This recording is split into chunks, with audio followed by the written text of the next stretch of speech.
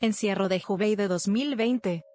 El encierro de Hubei, una de las 22 provincias de China, comenzó el 23 de enero de 2020, por orden del Gobierno Central de la República Popular China, en un esfuerzo por poner en cuarentena el epicentro de la pandemia de enfermedad por coronavirus de 2019-2020 y contener el nivel de expansión. Terminó el 8 de abril cuando durante varios días seguidos apenas se detectaron casos de contagio local ni muertes. La cuarentena fue levantada, aunque todavía siguió habiendo bastante control y limitaciones tras eso. La Organización Mundial de la Salud, OMS, dijo que esta acción era sin precedentes en la historia de la salud pública. Trasfondo. La cuarentena comenzó en Wuhan, que es la capital de la provincia de Hubei en China, con una población de más de 11 millones. Es la ciudad más grande en Hubei, la ciudad más poblada en China central la séptima ciudad más poblada en China, y una de las nueve ciudades centrales nacionales de China. Wuhan está en el oriente de la llanura de Jianghan, en la confluencia del río Yangtze y su afluente más grande, el río An. Punto es un importante hub de transporte, con docenas de vías férreas, carreteras y autopistas que pasan a través de la ciudad y la conectan a otras ciudades importantes. Debido a su función clave en transporte doméstico, Wuhan es conocida como la vía de paso de las nueve provincias, y a veces referido como la Chicago de China. Encierro.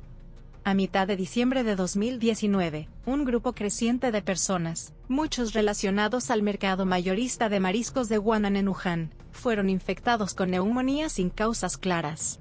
Científicos chinos posteriormente enlazaron la neumonía a una nueva cepa de coronavirus, la cual recibió la designación inicial de 2019 en COP.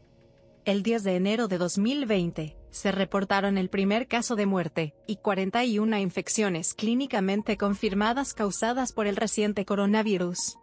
Al 22 de enero de 2020, el nuevo coronavirus se había extendido a varias provincias y ciudades importantes en China, con 571 casos confirmados y 17 muertes reportadas. También se reportaron casos confirmados en otras regiones y países, incluyendo Hong Kong, Macao, Taiwán, Tailandia, Japón, Corea del Sur, Singapur, los Estados Unidos, Australia y Canadá. A las 2 am del 23 de enero de 2020, las autoridades emitieron un aviso informando a residentes de Wuhan que desde las 10 am, todo transporte público, incluyendo autobuses, ferrocarriles, vuelos y servicios de transbordador serían suspendidos. El aeropuerto de Wuhan, la estación de ferrocarril de Wuhan, y el metro de Wuhan se cerraron.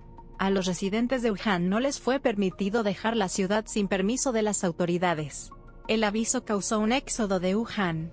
Se estima que unas 300.000 personas abandonaron Wuhan solo en tren antes del encierro de las 10 am. En la tarde de 23 de enero, las autoridades empezaron a cerrar algunas de las carreteras importantes que salen de Wuhan. El encierro vino dos días antes del Año Nuevo Chino, el festival más importante en el país, y tradicionalmente el punto más alto de la temporada de viajes, cuando millones de chinos recorren el país. Siguiendo el encierro de Wuhan, los sistemas de transporte público en dos ciudades de nivel prefectura vecinas de Wuhan, Wangang y Ezhou, también fueron puestas en encierro. Punto el 24 de enero, en un total de 12 otras ciudades desde nivel condado a prefectura en Hubei, incluyendo Guangxi, Chibi, Jingzhou, Yichang, Xiaogan, Jingmen, Xijiang, Qianjiang, Xiantao, Xianing, Dangyang y Enshi, se habían impuesto restricciones de movimiento, llevando el número de personas afectadas por la restricción a más de 40 millones. Línea de tiempo del encierro. Impacto y reacciones. El éxodo de Wuhan antes del encierro trajo enojadas respuestas en Weibo de parte de residentes en otras ciudades quienes estaban preocupados que esto pudiera resultar en extender el nuevo coronavirus a sus ciudades. Algunos en Wuhan están preocupados por la disponibilidad de provisiones y especialmente suministros médicos durante el encierro. La Organización Mundial de la Salud llamó el encierro de Wuhan sin precedentes, y dijo que mostró cuán comprometidas están las autoridades para contener un brote viral. Aún así, la OMS aclaró que esta acción no fue una recomendación que la OMS hubiera hecho, y las autoridades tienen que esperar y ver qué tan eficaz es. Punto por separado. La OMS ha declarado que la posibilidad de encerrar una ciudad entera así es algo nuevo para la ciencia.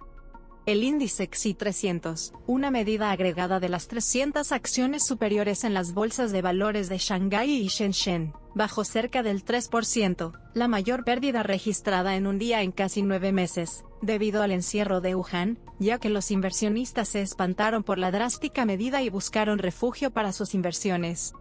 La escala sin precedentes de este encierro generó controversia, y al menos un experto criticó esta medida como un negocio arriesgado que podría muy fácilmente reventar por forzar a personas sanas en Wuhan a quedarse cerca de personas infectadas. También hace pensar comparaciones al encierro del barrio pobre de West Point en Liberia durante el brote de ébola de 2014, el cual fue levantado después de 10 días.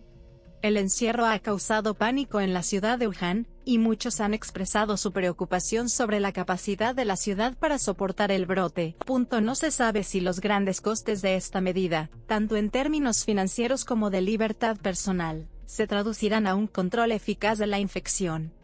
El historiador médico Howard Markel argumentó que el gobierno chino puede estar sobrereaccionando ahora, imponiendo una carga injustificable a la población, y que las restricciones incrementales, aplicadas firmemente y transparentemente, tienden a funcionar mucho mejor que medidas draconianas.